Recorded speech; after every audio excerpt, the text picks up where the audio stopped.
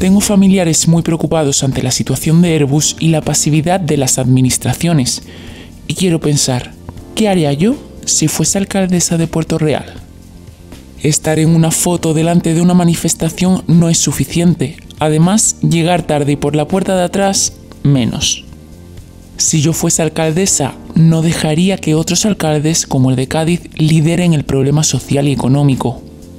Si yo fuese alcaldesa y siendo el peso del partido de gobierno en España, exigiría una actuación clara e inmediata a favor de una solución. Si yo fuese alcaldesa, sería mi principal actuación municipal y estaría en Madrid buscando soluciones y llamando a puertas exigiendo que el cierre de Airbus no afecte a las familias de Puerto Real. Si yo fuese alcaldesa, alzaría la voz por encima de las posiciones de la Junta de Andalucía y del Gobierno central.